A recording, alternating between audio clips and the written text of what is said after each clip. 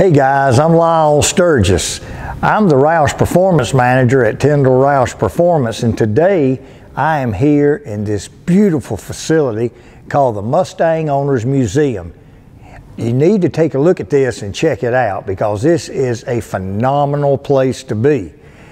And I wanted to come down here today because many of you know me, you know, as the crazy Mustang man. But uh, today I wanted to give you a little background on the crazy Mustang man and Jaron had asked me to come in and just kind of talk to you. So I'm going to give you a little background on Lyle Sturgis, who evolved into the crazy Mustang man.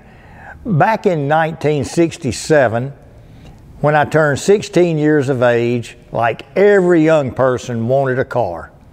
But I grew up in a small town here, Lowell, North Carolina, right there at a textile mill that my dad had run, and my mom taught elementary school, so we bought us a Mustang, or excuse me, they bought them a Mustang. And because my mom and I were tight, she says, you know, we'll share this Mustang. So this was a lime gold. That was a brand new color back in those days, lime gold, with a black vinyl top. And my dad had bought it from the Ford dealer there in Gastonia, Mr. Buddy Lewis, and it had been his wife's demo. So they said, hey, Harry, you need to buy this car. It'd be a great car for your wife and your son could drive it too. It was a GTA. Now, for you Mustang guys, you know a GTA was a really cool special vehicle. So this Mustang GTA became mine and my mama's because at that time in North Carolina, students could drive school buses. Imagine that. And that's what I did to earn my money to be part of my payment along with working at the mill. So this became our car. And being the young man at 16 I was, you know, Mustang wheels and hubcaps are cool, but you got to have big, wide, fat tires, and you got to have some Keystones or some Cragars on it. So I saved my money. And my buddy Labe Abernathy and I decided when my parents went to the beach that we would put the air shocks on, we'd get the big tires on the back, L60s, G60s on the front. Man, this was a bad mamma jamma. So when my parents came back from the beach, I got to tell you, they weren't really near as happy as I was. So I wound up getting grounded and driving my dad's Rambler wagon for a while. And eventually my mama came back and said, darling, you ruined my car. So it's yours now. And uh, guess what? Your dad is going to buy me another car. So bingo, hey, I got me a car. And there has never been a month in my life since 1967 in February that I haven't owned a Mustang. You know, I've owned other cars because, you know, we had a family and we had children, but I had a Mustang. So I've been there through the progression, and nothing tickles me more than to hear people say their first car was a Mach 1, 1969. I had a Mach 1 in 69. I thought I was kind of special. But guess what? I found out they must have made 7 billion of them because every show I do and every event I do, the first car everybody owned was a 69 Mach 1.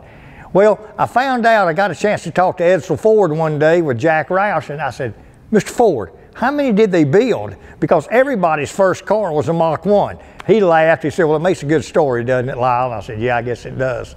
So I went on through the 70s and the 80s, and you know, Mustang has not always been the car that was the big, bad, fast one because we went through the four cylinder and the six cylinder days. The Mustang 2. We, right here in the museum, there's got to be the most gorgeous Mustang 2 that's ever been built.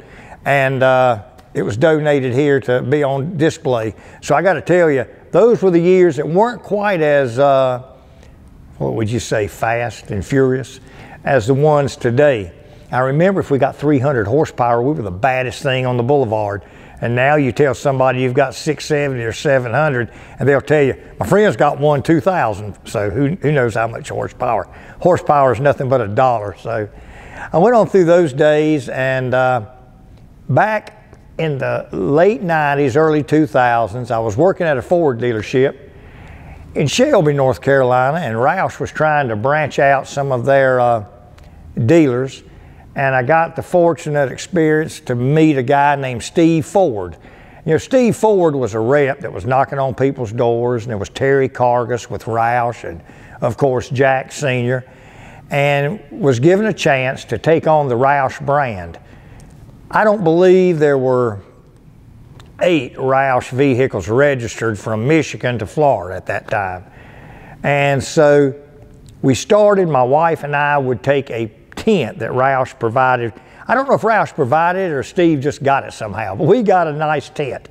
And we would take two cars, and she and I worked every event in the country that we could work a tent, a table, two chairs, a bunch of flyers. And if you're seeing this, you probably got one of my flyers at one time or another. And that's how we started the Roush program. Two cars, a tent, a table, a couple of chairs, and two people that loved Mustangs. Well, I'll say I love them, and Gene kind of put up with me loving them and helped me, but uh, we handed out flyers, so many that we'd even be at Mustang Week, and somebody would say, I don't put that on my car, you know, uh, I've got this or I've got that. Excuse me, sorry, you know, but I'd give it to them anyway. And you know, you throw enough mud out there, sooner or later some of it sticks. So as it went on and sales went on, I guess I was told time after time by so-called great Mustang people that, boy, hooking your buggy on Roush is going to be a tough climb. Well, I sold some GT3 500s at that time, and, and we, I was just a performance guy. But Roush had a place in my heart. And everything was going real good. And we were selling some cars. And on December 23rd, 2008, I get this phone call. And I find out after several years of just hurting that I was diagnosed with cancer. Well, you know, when you hear that back those years ago, that's 10 years ago now, a lot of people freak out and go nuts. I just took a deep breath and listened to what they said and they said I had cancer on my pancreas. Well, I didn't know enough, man. I'm a high school graduate. I've learned everything I needed in 12 years, so I didn't go to doctor school, but uh, people told me that that's pretty tough stuff. And then I found out it had spread over to my spleen, lymph nodes, thorax, and you don't have much time, Lyle. You need to think about this. But you know, being the good Lutheran boy that I am, I decided better to talk to God than it would be to talk to anybody else. And I had just gotten involved big time working with these Roush cars, working with these Mustangs that I loved all my life, and then this happens. So, after a prayer, after a lot of thought, to make a long story short, we got through this. It was a long battle, but it was a battle well worth it because I tell people when I talk to them about these Mustangs, if you don't believe in prayer, hot rod Mustangs and a whole lot of chemo, I got to tell you, I'll probably piss you off because I know it works. So the Mustangs were my therapy car. And I can't tell you how many times I've sold people cars who have gone through heart trouble, cancer, uh, loss of a loved one. And you know what that therapy car was? A Mustang. You know, Mustangs are Mustangs. I'm fortunate and blessed to be affiliated with Roush Performance Products and Jack Roush and Jack Roush Jr. I got to tell you, I had a wonderful dad, but if I had to pick another person that was like a dad figure to me, it would be Jack Roush. He has been so kind to me and, and helped me to get to this point where I am. And uh, a Mustang is a Mustang. And I tell people, I would think a Roush is great. I think a Shelby's great. Every Mustang from that 67 GTA Mustang I had to now, it's all about the Mustang. It's not about someone's name that's across the window here. It's a Mustang. And I think that the community needs to always understand that. I think Roush is the heat from Mars. And there'll be another man that will say, the Shelby brand is the heat from Mars. And there'll be another man that will say, My GT is everything that yours is. And then comes a little girl with her six cylinder or a little boy. This is my first Mustang. Guys, your first Mustang is something that will stay with you forever. Mustang has brought families together. They, everybody has a story in their life that Mustang made a difference. In mine, it's not a hobby. It's a career, it's a lifestyle, and I share that with my customers. You know, Jaron and I have worked so many shows together all over the country, and we see this each and every day. When you see some of his posts, it's not just a Roush, it's not just a Shelby, it's, it's a Mustang. And that's why this museum, this beautiful place that, that's going up right now, this is a tribute to Mustang owners. That's why they call it the Mustang Owners Museum. It's not called just one brand, it's the Mustang owners. My story has been a phenomenal ride. The, my faith in God to be able to sell these cars, I really make friends. I've sold thousands of these all over the country and even in other countries. And these are real friends.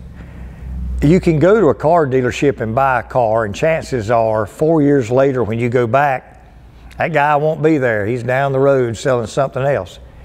Well, I got into this thing and I'm here, and uh, it's part of my life. My wife has come to understand. Somebody asked her, Is Lyle having a midlife crisis? Well, I got to tell you, she told him, No, no, he's got an all life crisis because that's what it's all been about, man, this hot rod Mustang. You know, the crazy Mustang man says, hot chicks and crazy Mustangs. That's cool. Well, I found my hot chick years ago, but listen, I still like the hot chicks and I like the crazy Mustangs. So uh, Mustangs are what it's all about. I, I just know this is a great opportunity to be able to share a love and a passion that I have with others. So every time I sell one of these hot rods, many people think, you know, well, that's got to be great. How many do you sell? It doesn't matter how many. It's how many life-changing experiences can you do with an automobile. The automobile is one thing that has moved America for years. This one behind me to my right is a cancer car.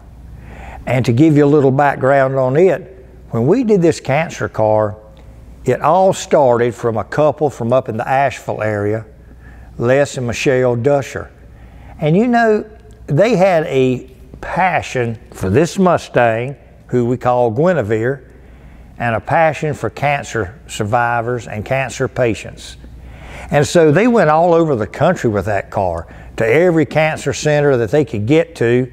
And all these autographs on here are survivors, people that have been touched by cancer, people that have moved to the other side. So it's really a cool deal.